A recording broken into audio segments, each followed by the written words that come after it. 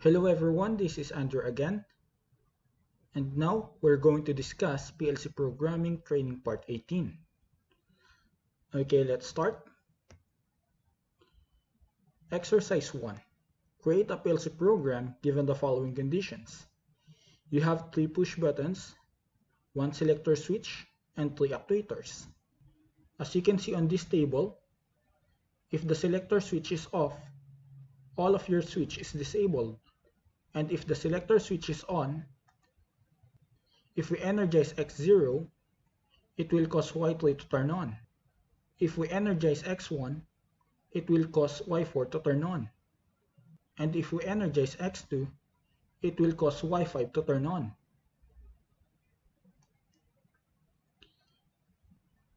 Then, if we turn off the selector switch, Y3, Y4, and Y5 will turn off. Okay, let's have our demonstration.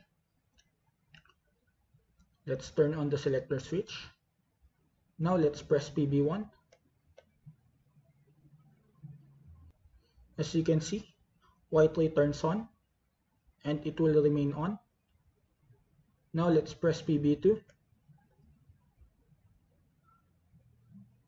As you can see here, when I energize X1, it will turn off white light and Y5 and it will turn on Y4. Now let's press PB3. Now let's turn off the selector switch. Now let's try to press PB1. Nothing happened. Let's press PB2. Nothing happened also. Then let's press PB3. Nothing happened also. Then let's try it again. Let's turn on the selector switch. But right now, let's press PB2 first. Now let's press PB1. Now let's press PB3. Okay, that's it. Now, I want you to post this video and try to solve it by yourself. Then after that, you can resume this video so that you can compare your answer to my answer. Okay, let's continue. This will be my answer for this exercise. Now let's turn on the selector switch. Let's press PB1. Now let's press PB2. And now let's press PB3. Now let's turn off the selector switch. As you notice here, every time that I press a button, it will make a specific output to turn on and it will make the rest to turn off. And the selector switch is used to turn off everything. Okay, now let's go to our next exercise. Exercise 2. Create a PLC program given the following conditions. You have three push buttons, one selector switch, and three actuators. When we look at the table, it is the same as our last exercise, but the only difference is when I press X0, instead of turning on Y3, it will turn on both Y3 and Y4. When I energize X1, it will turn on Y4 and Y5. Then, when I energize X2, it will turn on Y3 and Y5 and the selector switch here is used to disable all the buttons. Okay, let's have our demonstration. Let's turn on the selector switch. Now let's press PB1. Now let's press PB2. Then let's press PB3. Okay, that's it. Now, I want you to post this video and try to solve it by yourself. Then after that, you can resume this video so that you can compare your answer to my answer.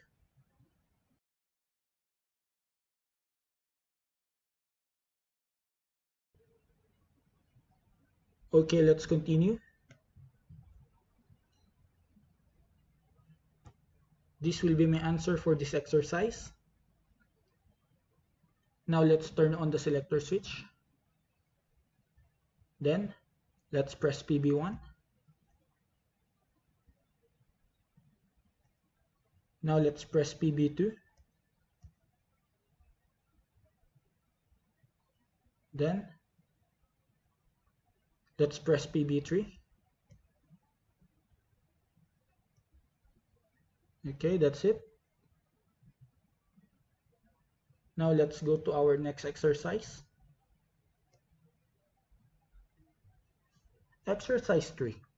Create a PLC program given the following conditions. You have three push buttons and three actuators. If PB1 is pressed, the process will start. Process will stop after completing one cycle. Now let's discuss the process. As you can see here, cylinder 1 will extend after it reaches the full extended position, cylinder 2 will extend. After cylinder 2 reaches the full extended position, cylinder 3 will extend. Then after it reaches the full extended position, cylinder 1 will retract. Then, after cylinder 1 reaches the fully retracted position, cylinder 2 will retract also. After cylinder 2 reaches the fully retracted position, cylinder 3 will retract also. Okay, let's have our demonstration. Now let's press PB1.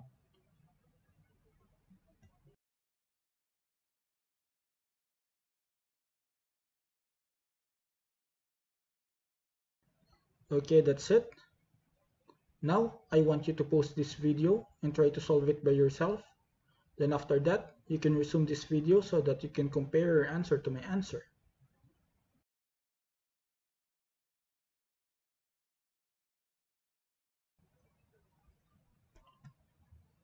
Okay, this will be my answer for this exercise. Okay, let's press PB1. By pressing PB1 here, X0 will be energized. And because cylinder 1 is at fully retracted position, Y3 will turn on. And because there's a latching here, Y3 will not turn off even if X0 is not energized anymore. Okay, now because Y3 is on, it will cause cylinder 1 to extend. And because cylinder 1 is at fully extended position X5 will be energized and cylinder 2 is at fully retracted position Y4 will turn on. And Y4 will make cylinder 2 to extend.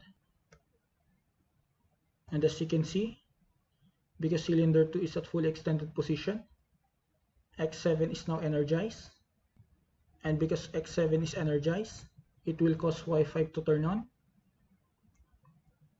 And because there's a latching here Y5 will not turn off anymore even if either X7 and X10 is not energized anymore.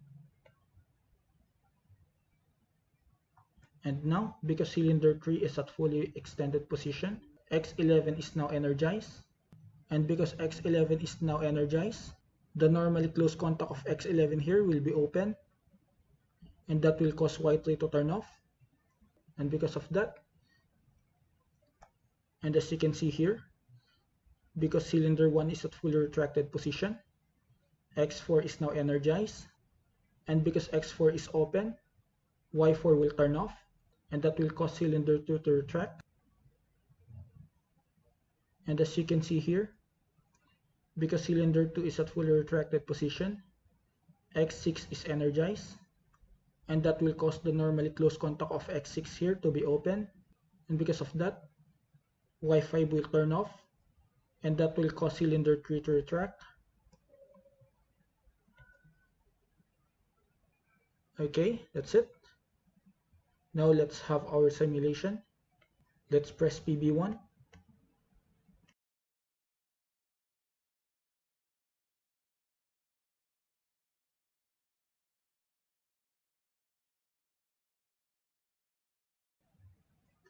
Okay, thank you for watching this video and please wait for the next episode of our tutorial. And that's all for today. Thank you for watching this video. Please subscribe to my YouTube channel. Click the notification bell to notify you for new video. Please like and share my YouTube videos and like my Facebook page. Please click see first on our Facebook page to notify you for new posts. If you like this video, please comment nice. Please comment negative and colon and put your negative comments about this video.